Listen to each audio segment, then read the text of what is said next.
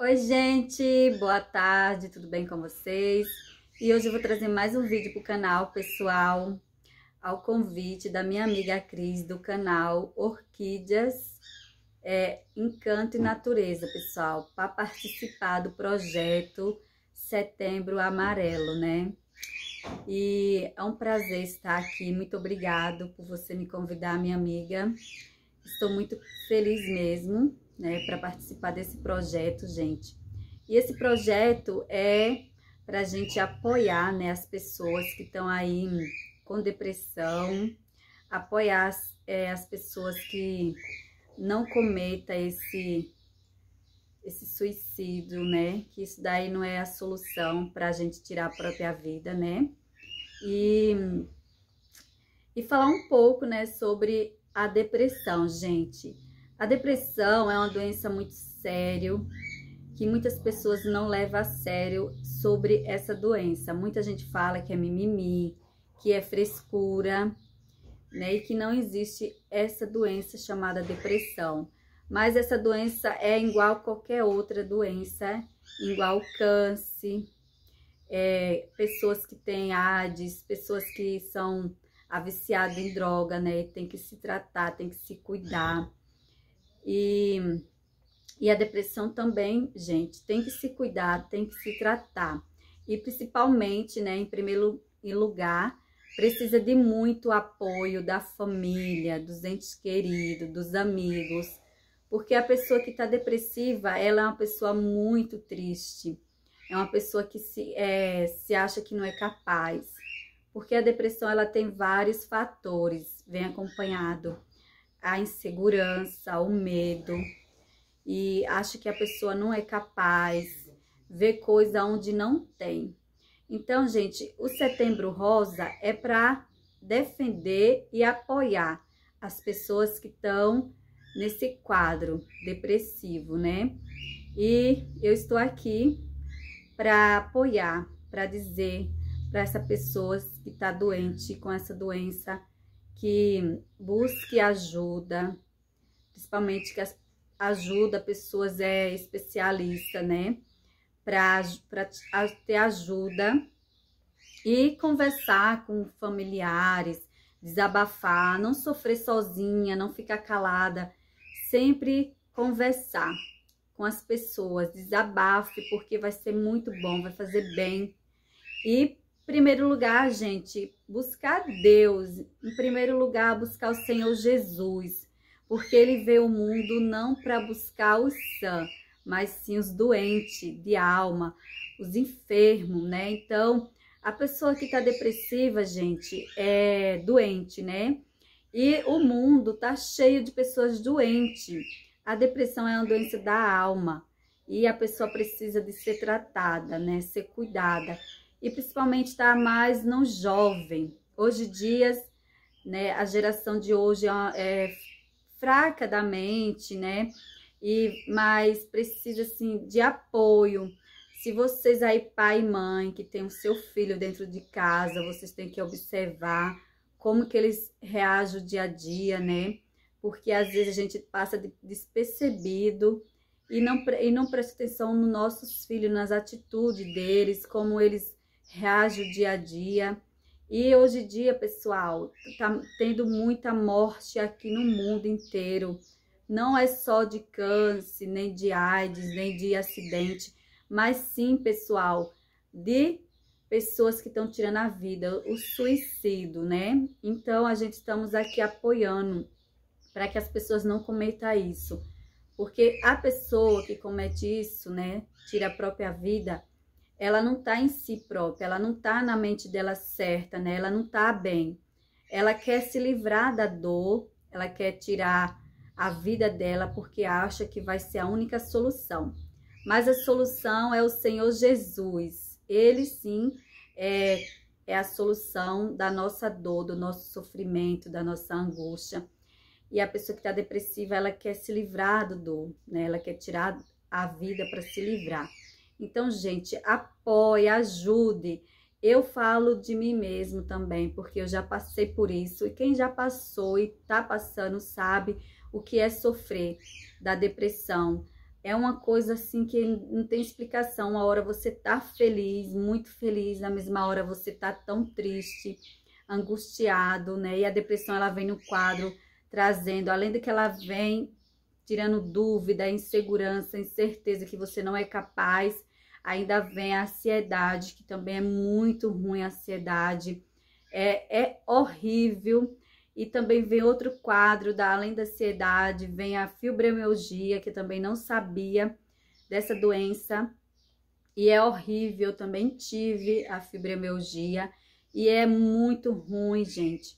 Então, eu falo para quem está passando por isso, buscar ajuda e buscar primeiramente Deus, para que Deus venha ser o nosso refúgio, é a nossa fortaleza.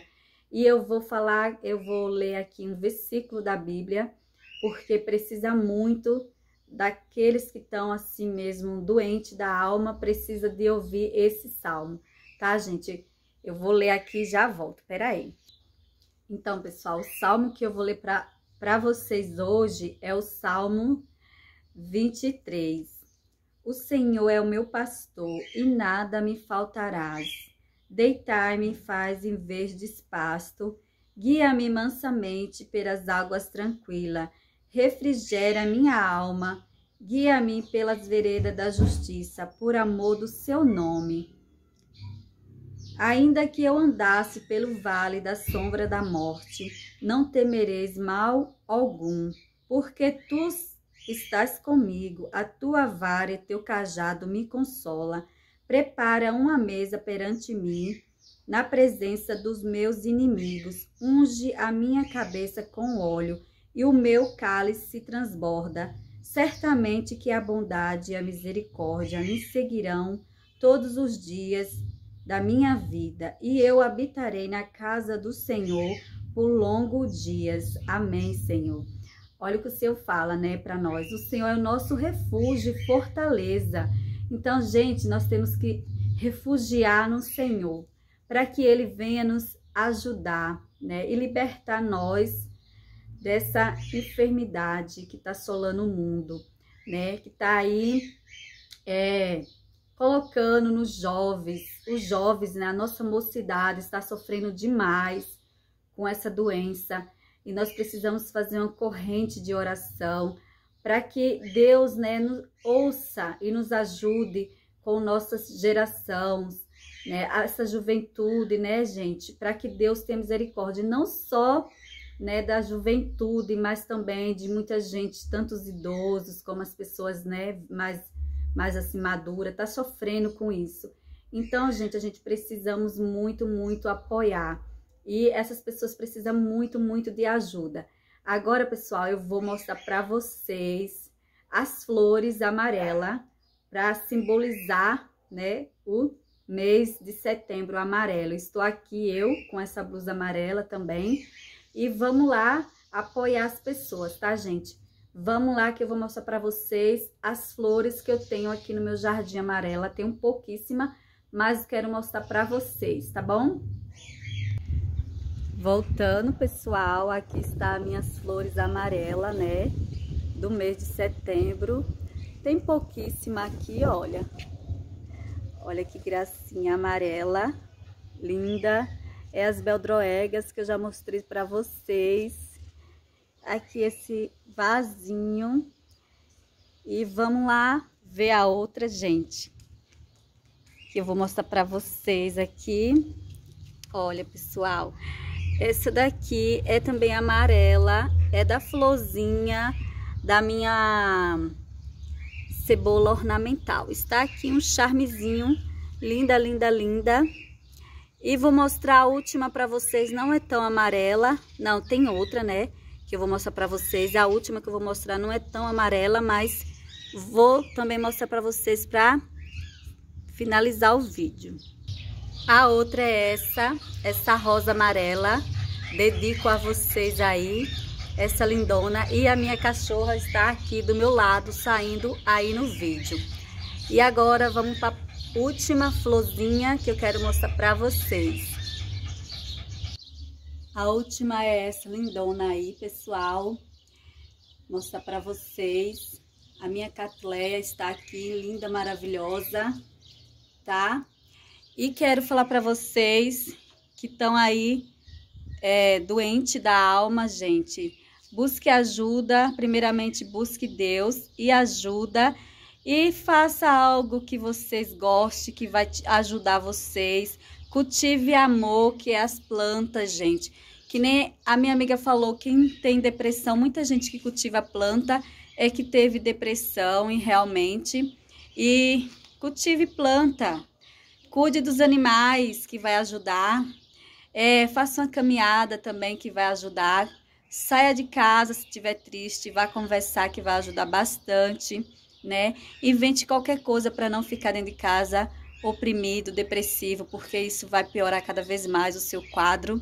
Né? Eu não sou aqui especialista em nada, mas falo porque já passei por tudo isso e hoje eu venci, graças a Deus. Eu tomava remédio para dormir, para ansiedade e hoje já tem, vai fazer três anos que eu não preciso de nada disso, porque o Senhor foi o meu refúgio, minha fortaleza e as plantinhas também me ajudou muito. Amo elas, amo cuidar delas todos os dias. É a minha alegria.